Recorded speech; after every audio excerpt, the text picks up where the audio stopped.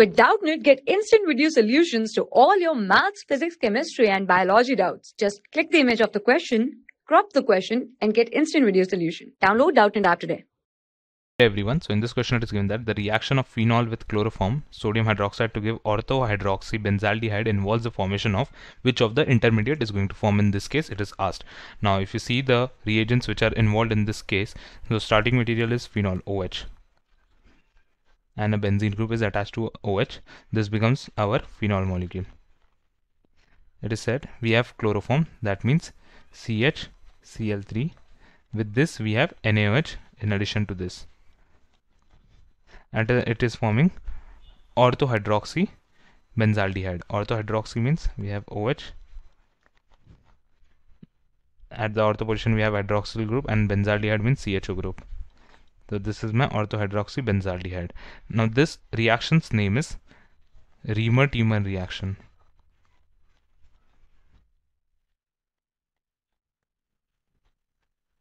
in this what will happen is this chloroform and first of all the reaction intermediate which is formed that is if I write down the mechanism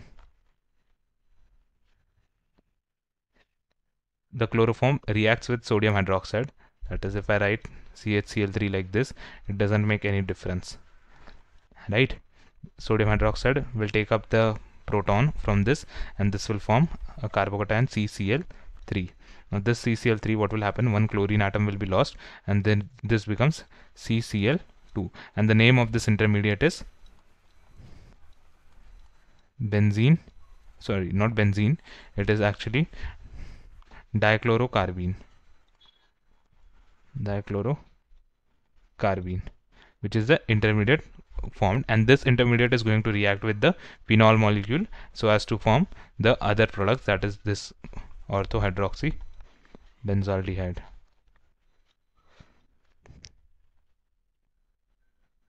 now if you check the options we have first option itself we have dichlorocarbene. So this will be the correct answer for this question. Second is trichlorocarbene. Trichlorocarbene is never formed in that case. So this is incorrect. Chlorine atoms this is also not correct.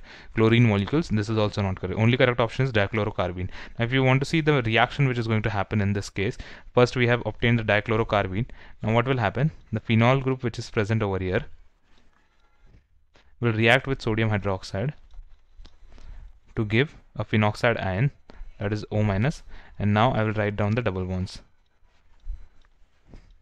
the next part what happens is this reacts with CCl2 the dichlorocarbene. How? This negative charge will shift over here this will generate a negative charge on this part and this negative charge will take up this carbon and the formation of this product is going to happen. If I write down over here this is O double bond here I will have one hydrogen. Here I will have C. Cl. Cl. And rest rest of the part as it is I can write down right? This will be this will be having a negative charge on this part. A negative charge on this carbon atom and the double bonds as it is. So once I get this part what will happen in the next part is there will be taking up of this hydrogen.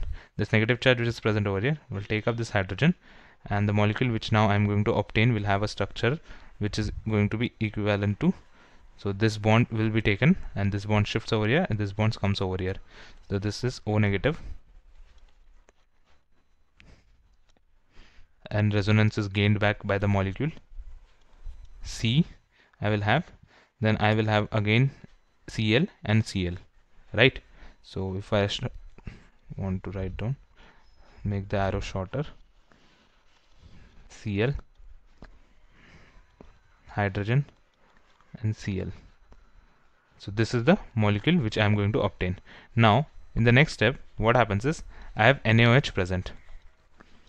NaOH present.